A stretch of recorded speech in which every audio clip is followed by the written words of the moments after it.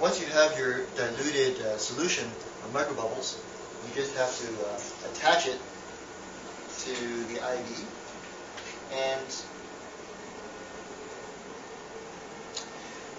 for a dobutamine stress echo, we use a Y connector. Um, one side of the Y will be used for the microbubbles and the other side for the dobutamine infusion. I then take the microbubbles and um, hook it up to a syringe pump.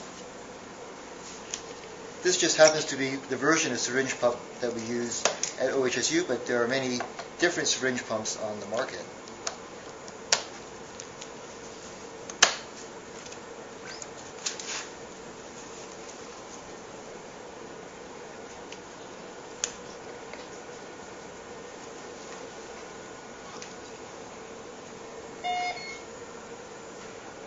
So the initial settings that I'm going to use, we will use an infusion rate of 90 mils per hour, which is a very good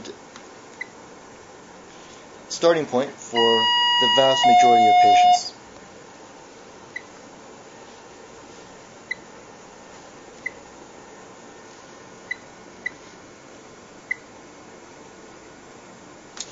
So it's all set and we're ready to go.